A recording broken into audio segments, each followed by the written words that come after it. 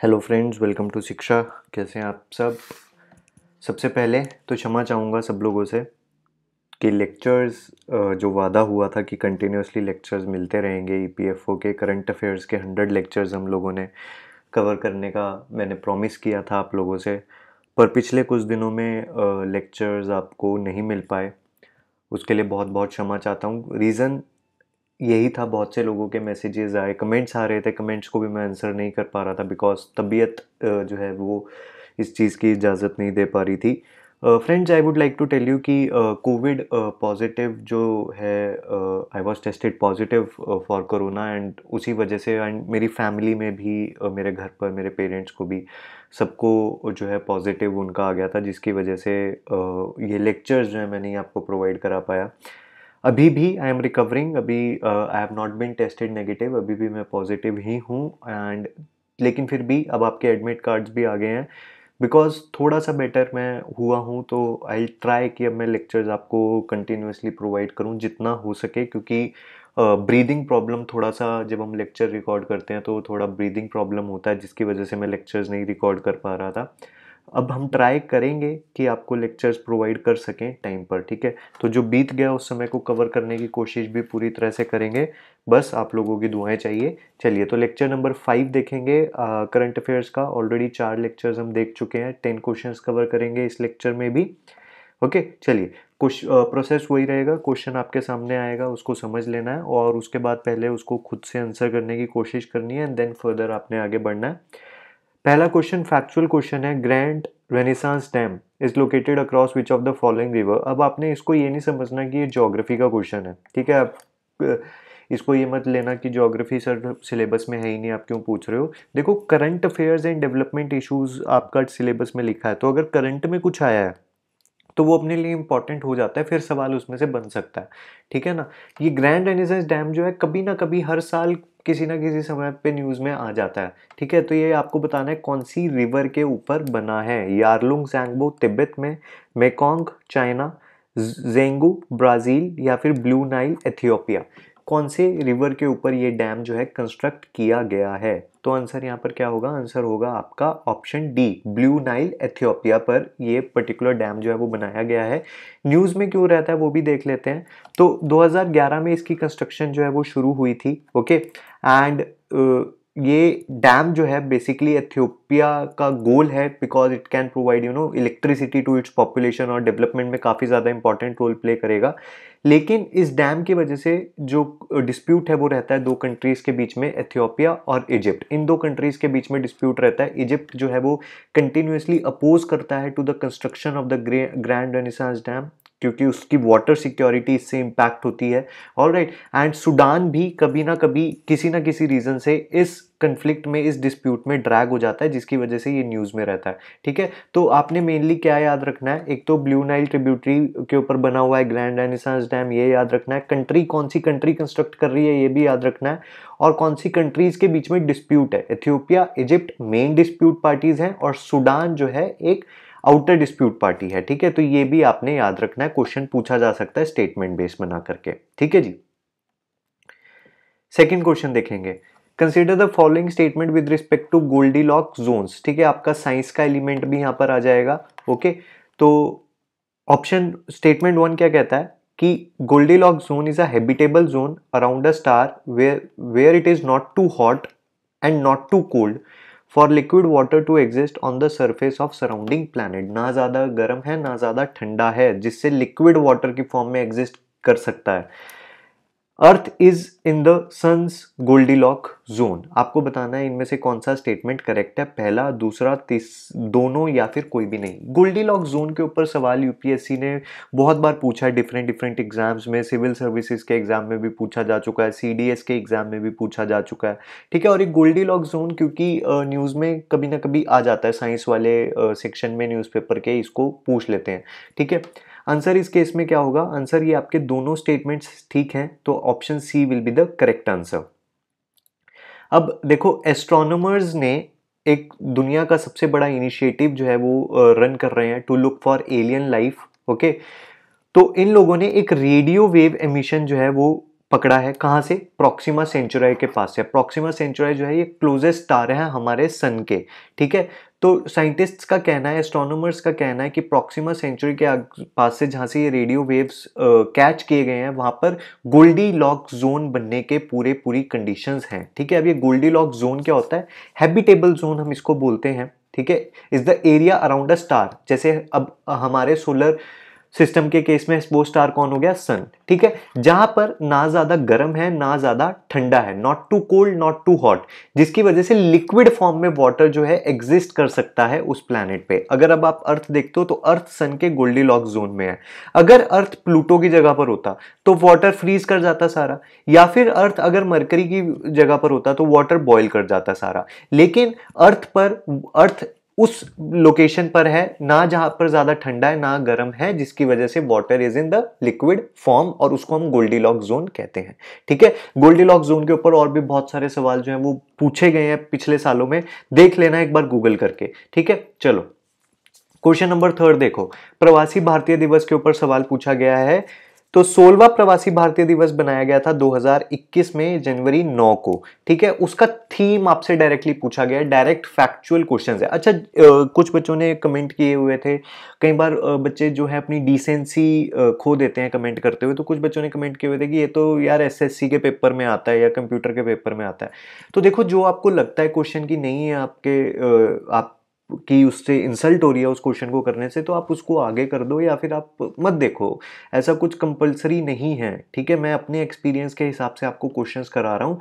Factual questions UPSC के paper में पिछले तीन चार साल के पेपर उठा करके देखो। अलग अलग पेपर जो यूपीएससी ने लिए हैं फैक्ट्स के ऊपर यूपीएससी बहुत ज़्यादा टारगेट करने लगा है ठीक है? तो हमें उसको लेकर के चलना पड़ेगा। पेपर से बाहर निकलने के बाद आ, यूपीएससी को प्रेडिक्ट करने वाले जो लोग होते हैं, वो सबसे ज़्यादा रो रहे होते हैं। जो प्रेडिक्शन करने में लगे हुए रहते हैं ना, पूरा टाइम की यूपीएससी ये पूछेगा, ये नहीं पूछेगा, वो सबसे ज़्यादा रोते हैं पेपर से बाहर निकलने के बाद। ये चीज़ आपने ध्यान में रखनी है। तो सोलहवें प्रवासी भारतीय दिवस का थीम आपको बताना है। ऑप्शन ए कहता है hundred years of Gandhi return from South Africa option B अपना भारत, अपना गौरव. Option C redefining engagement with the Indian diaspora and option D is contributing to Atmanirbhar Bharat. इसमें से कौन सा थीम है? देखो क्वेश्चन में और भी बड़ी सारी इन्फॉर्मेशन आपको प्रोवाइडेड है।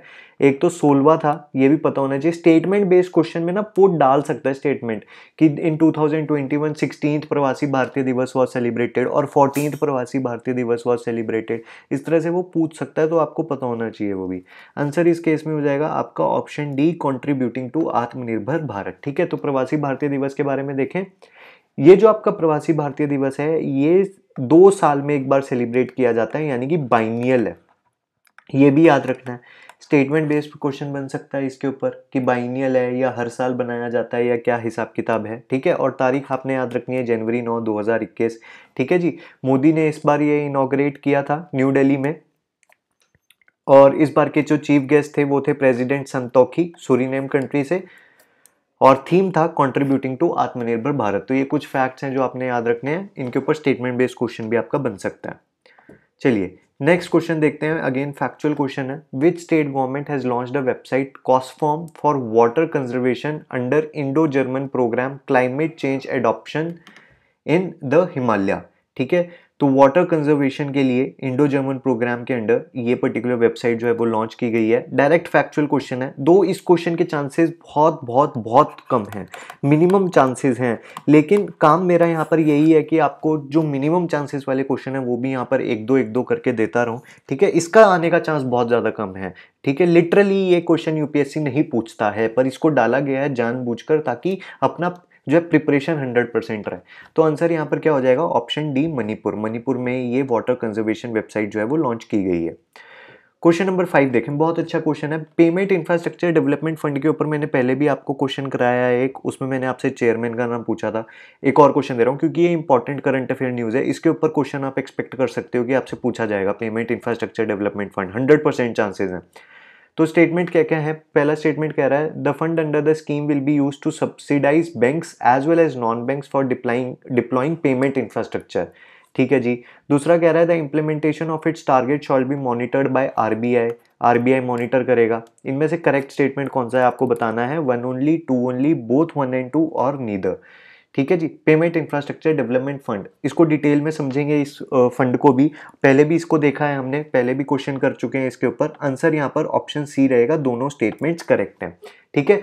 तो आरबीआई ने अनाउंस किया था recently operationalisation of this payment infrastructure development fund इसका ऑब्जेक्टिव क्या है इस फंड का? ताकि पेमेंट एक्सेप्टेंस इंफ्रास्ट्रक्चर डेवलप किया जा सके। Tier three to tier six cities में ये भी आपने याद रखना है ये इंपॉर्टेंट है।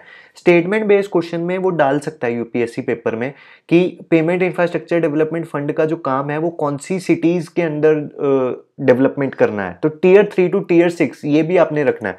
और स्पेशल फोकस रखा जाएगा नॉर्थ ईस्टर्न स्टेट्स के ऊपर ठीक है? इसके लिए एक एडवाइजरी काउंसिल भी बनाई गई है जो RBI deputy governor BP Kanungo के अंडर कॉन्स्टिट्यूट की गई है, जो सारा ये देखेगी कि स्कीम ठीक से इंप्लीमेंट हो रही है या नहीं हो रही है। और ये जो फंड है, ये सब्सिडाइज करेगा बैंक्स को as well as non banks को, ताकि जो पेमेंट इंफ्रास्ट्रक्चर है, उसको क्रिएट किया जा सके। ठीक है? तो ये बहुत इंपॉर्टेंट फैक्ट्स हैं सारे के सारे, जो आपने अच्छे से याद कर लेने हैं। ऑलराइट चलिए नेक्स्ट क्वेश्चन देखते हैं। सिक्स क्वेश्चन देखते हैं। राष्ट्रीय कामधेनु आयोग से रिलेटेड आपको स्टेटमेंट्स गिवन है। पहला स्टेटमेंट क्या कह रहा है? It has been constituted to organise animal husbandry on modern and scientific lines ठीक है दूसरा स्टेटमेंट कह रहा है its functions are an integral part of Rashtriya Gokul Mission देखो ये क्वेश्चन अब एग्जैक्टली exactly करंट का नहीं है क्योंकि स्कीम uh, बहुत ज़्यादा पुरानी है। सोशल सिक्योरिटी में भी आप इसको डाल सकते हो ठीक है क्योंकि फार्मर प्रोटेक्शन की भी यहाँ पर बात हो जाती है फार्मर इनकम की भी यहाँ पर बात हो जाती है एनिमल हस्बेंड्री की भी यहाँ पर बात हो जाती है ठीक है? तो मल्टीपल एरियाज़ में इस क्वेश्चन को आप रख सकते हो। तो ऑप्शंस आपके पास ये हैं कि आपको बताना है कौन सा स्टेटमेंट इनमें से करेक्ट रहेगा। One only two only both या फिर नीदर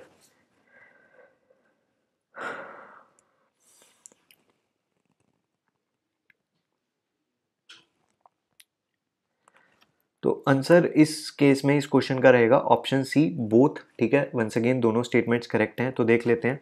तो ये न्यूज़ में क्यों था? सबसे पहले वो देख लेते हैं। तो राष्ट्रीय कामधेनु आयोग ने रिसेंटली एक कामधेनु गौ विज्ञान प्रचर प्रसार एग्ज़ाम जो है एक पेपर रखा था। इसका मेनली एम ये था कि लोगों के अंदर जो है क्यूरियोसिटी जो है डेवलप की जा सके related to the importance of cows और सेंसिटाइज किया जा सके एजुकेट किया जा सके लोगों को related to the indigenous bovine species okay अब आपका जो राष्ट्रीय कामधेनु आयोग है, इसको कॉन्स्टिट्यूट किया गया है to organise animal husbandry on modern and scientific lines all right ताकि जो स्टेप्स हैं वो लिए जा सकें, ताकि ब्रीड्स को इम्प्रूव किया जा सके प्रिजर्व किया जा सके ब्रीड्स को काउ स्लॉटर को जो है वो प्रोहिबिट किया जा सके। उसके अलावा अगर आप देखें, जो राष्ट्रीय कामधेनु आयोग है, ये एक हाई पावर्ड परमानेंट बॉडी है, ठीक है? और इसका काम क्या है? ये पॉलिसीज़ फॉर्मुलेट करती है डायरेक्शन प्रोवाइड करती है, ताकि जो वेरियस स्कीम्स हैं related to cow protection to cattle protection उनको इम्प्लीमेंट किया जा सके। साथ ही साथ लाइवलीहुड जनरेट किया जा सके स्मॉल एंड मार्जिनल फार्मर्स के लिए वुमेन के लिए यूथ एंटरप्रेन्योर्स के लिए। ठीक है जी?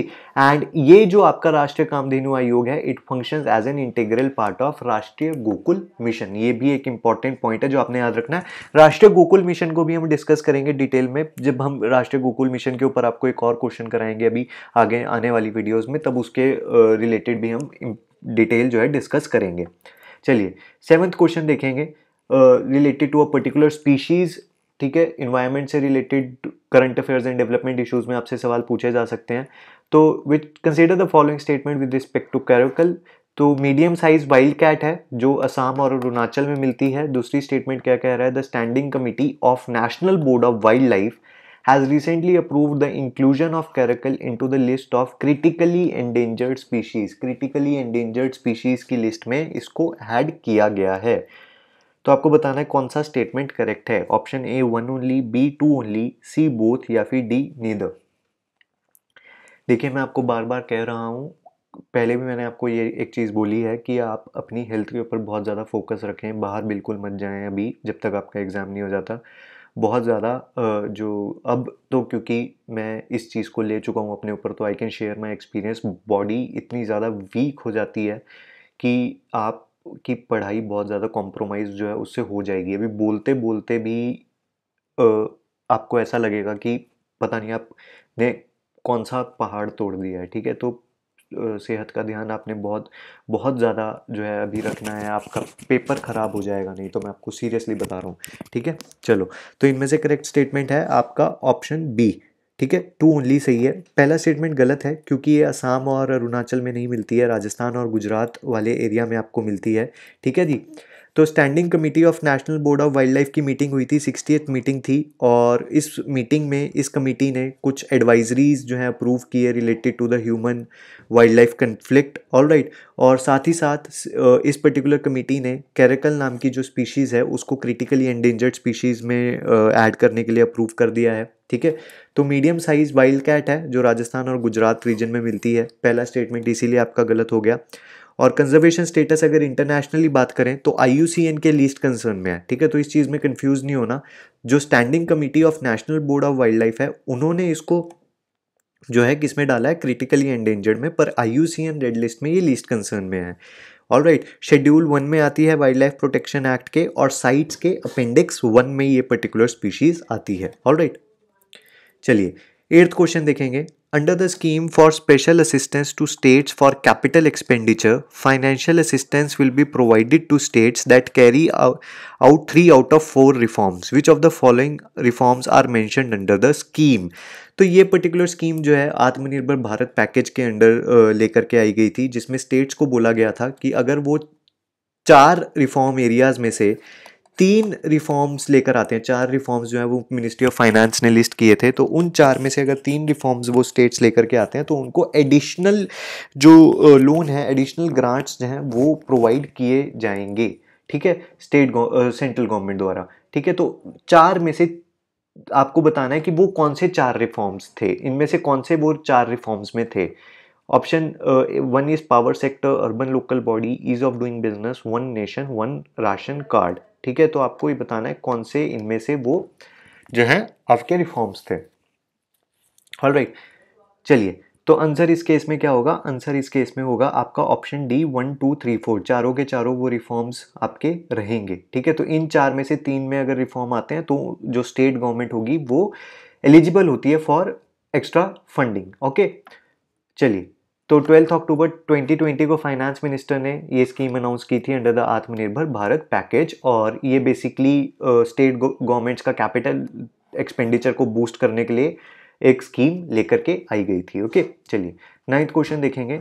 Merapi volcano sometime seen in news is located in कहाँ पर ये लोकेटेड है? Merapi volcano option A Italy B Japan C Indonesia और डी फिलीपाइंस कौन सी कंट्री में ये लोकेटेड है? देखो, ये इसीलिए पूछा गया है क्योंकि वॉलकैनो एरप्ट हुआ था ये रिसेंटली ठीक है? फैक्चुअल क्वेश्चन है इधर यू नो इट और you don't know it so the answer here is option C Indonesia Indonesia is the correct answer चलिए लास्ट क्वेश्चन देखेंगे। Which of the following ministries has launched freight business development portal factual question है chances पूछे जाने के बहुत ज़्यादा कम है, पर न्यूज़ में काफ़ी ज़्यादा आया था। न्यूज़पेपर्स ने काफ़ी ज़्यादा इसको कवर किया था फ्रेट बिज़नेस डेवलपमेंट पोर्टल को। तो कौन सी मिनिस्ट्री ने ये लॉन्च किया है? Ministry of finance ministry of corporate affairs ministry of railways और ministry of port shipping and waterways तो इसमें आंसर होगा आपका option C ministry of railways ने इसको लॉन्च किया था। बेसिक जो एजेंडा था वो क्या था? क्योंकि ताकि रेलवेज का फ्रेट बिज़नेस जो है उसको डेवलप किया जा सके।